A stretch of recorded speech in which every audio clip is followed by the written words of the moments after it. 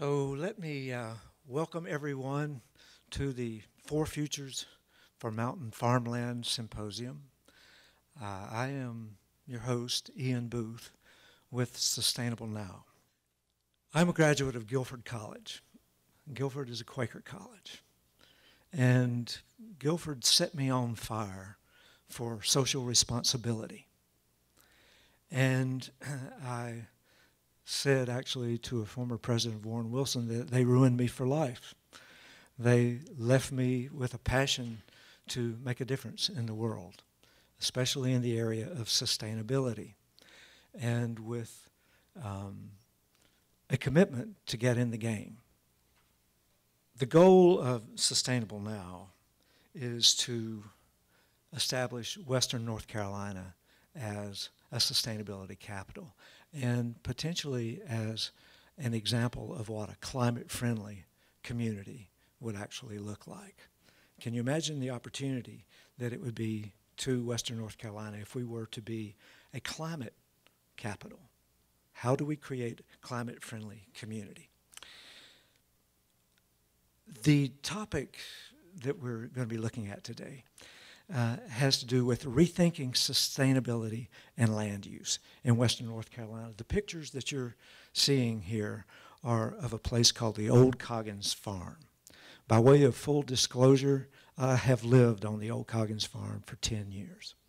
And uh, my commitment around sustainability and around my relationship to the farm have come together in the form of creating an event and a setting in which we could think through what is the highest and best possibility for our relationship with our land and especially with our farmland.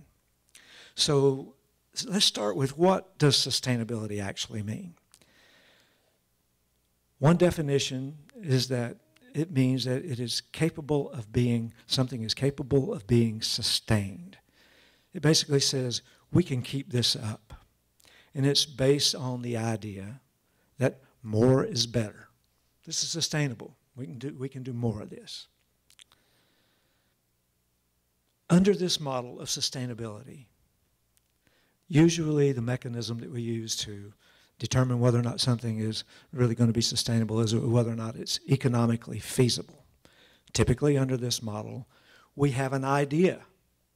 And then we go looking for a place to make our idea happen. It starts with the idea, now I'm going to go find a place to have my idea happen.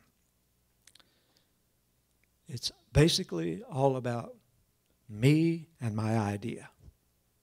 Okay? That model starts with the idea, and then you find the place.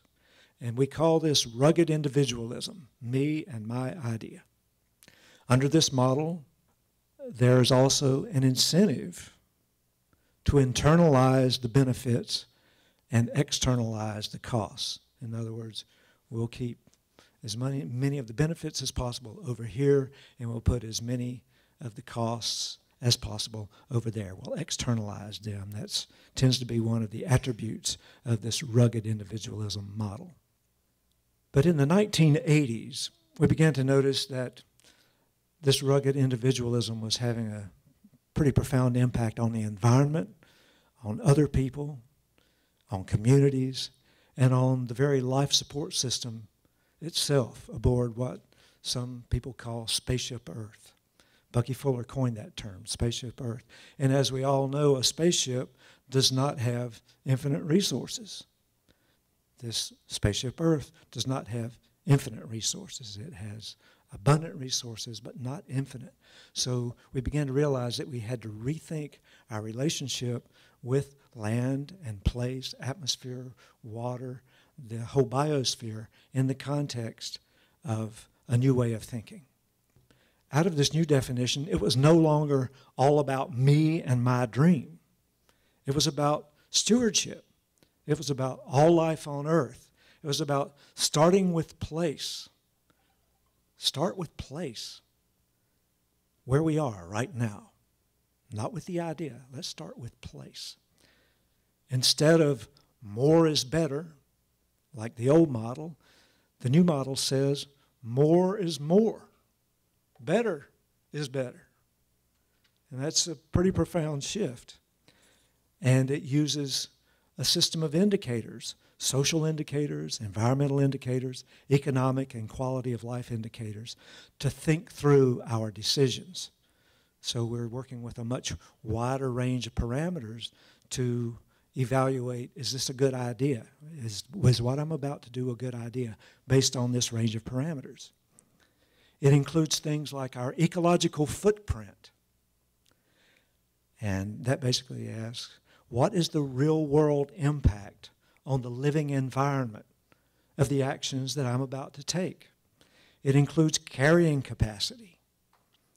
How much human activity can we have in this place without causing harm from habitat loss, sprawl, overpopulation, and so forth?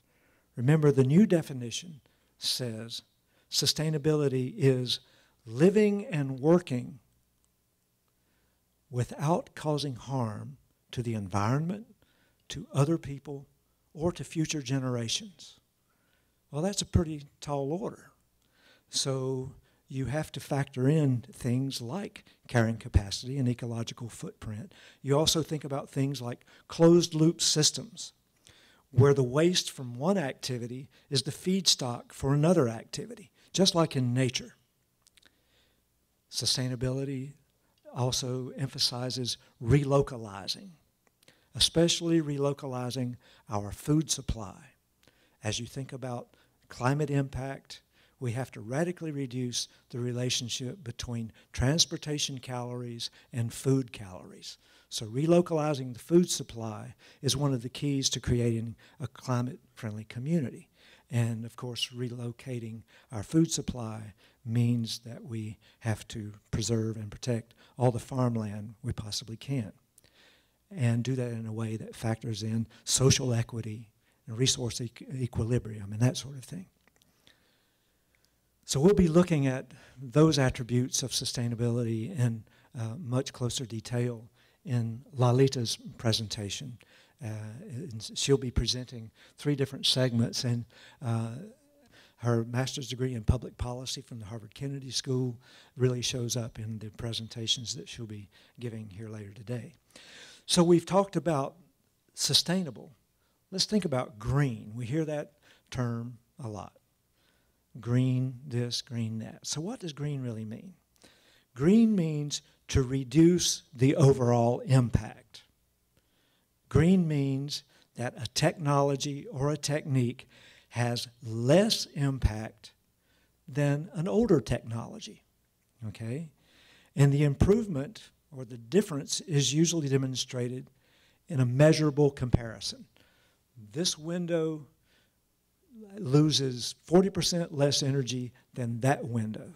This water heater is 60% more efficient than that water heater.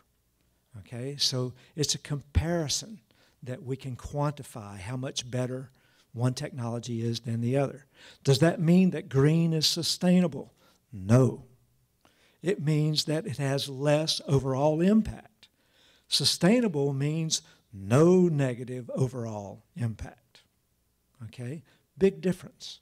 So green has less impact. Sustainable has no negative impact. So, when you hear somebody say that something is sustainable, ask yourself can we really do that without causing harm to the environment, to other people, or to future generations?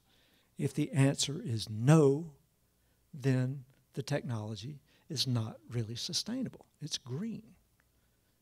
And if somebody continues to call something sustainable that doesn't rise to that level, then I submit that the emperor is not wearing any clothes. okay? So that's a distinction that uh, as we move forward as a community, we'll become more and more attuned to the use of the word sustainable. If we're going to create a truly sustainable community, we have to raise our level of literacy around that. What if we took a completely new approach to sustainability? Right now, we are, in effect, losing ground. That's a great metaphor. We're losing ground figuratively, and we're losing ground literally. Everything that happens happens in a place, right? No matter what we're doing, we're doing it from a place. We put the physical world into three categories people, places, and things. Place is central to all life on the planet.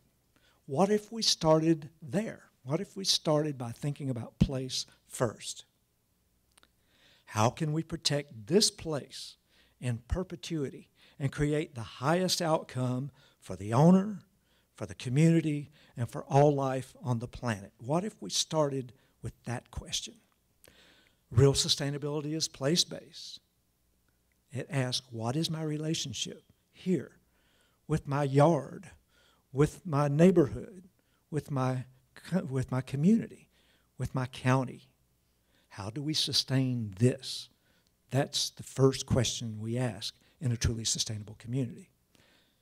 Once again, sustainability means living and working in a way that meets today's needs without causing harm to the environment, to other people, or to future generations.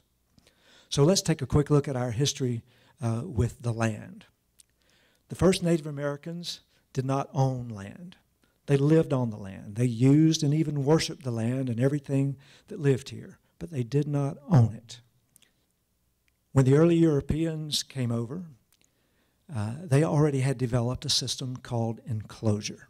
A king or a conqueror declared this to be his or hers, then granted it in large parcels to powerful, loyal allies for gold or political favors or for whatever reason and the dividing and subdividing has gone on from there. Some of the land was used to grow food, some of the land to grow houses, some to grow jobs and innovation. Some was saved to grow minds and spirits, and some to protect other living creatures. Rugged individualism, as we enclose ever smaller parcels, then commoditize those new parcels and extract wealth in the process. A system of deeds and transfers that enable us to buy or inherit land as property, private property, my property. One definition that I came across said an owner of property has the right to consume, alter, share, redefine, rent, mortgage, sell, exchange, transfer, give away, or destroy it, or to exclude others from doing these things. Thirty years ago, in this room, I met Wendell Berry. And Wendell Berry has been a source of extraordinary inspiration for me ever since. I've seen him in this room a number of times, and that's exactly why I wanted to have the symposium in this room. So, we were talking about this rugged individualism model of how we relate to the land. Here's what Wendell Berry has to say about it in his book, The Way of Ignorance. He says, The tragic version of rugged individualism is in the presumptive right of individuals to do as they please, as if there were no God, no legitimate government, no community, no neighbors, and no posterity. This is most frequently understood as the right to do whatever one pleases with one's property. One's property, according to this formulation, is one's own absolutely. Rugged individualism of this kind has cost us dearly.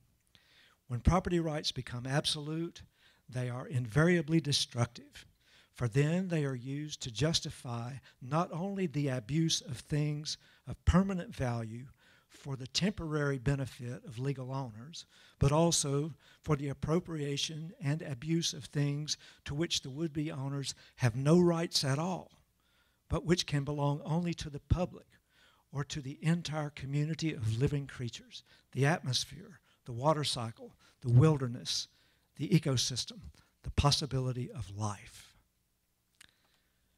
So, from that perspective, it provides another window on this process of enclosure that we have systematized with subdividing into ever smaller deedable parcels and structures. And that process now drives a large segment of our economy, which emphasizes growth as the path forward. Meantime, we still have no mechanism for thinking through land use in the context of sustainability. That's why we're here today, to create a curriculum, a video series that can help our community and other communities think through land use in the context of sustainability. So the title of this uh, of this symposium is Four Futures for Mountain Farmland, and we'll uh, continue uh, the presentations with two more uh, keynote addresses, uh, and then we'll move into thinking through those four futures. Those futures being agriculture, development, innovation, and conservation. And our speakers will be bringing each of those subjects to life. This is uh, an effort, a grassroots effort to really move forward the conversation. How do we create a sustainable future and how we do it in a relationship to our land, in relationship to our farmland. So thank you so much, and we'll be uh, setting up for the next speaker, uh, who will be uh, Lalita Booth. And uh, so thank you. We'll be moving to the next presenter in just a moment.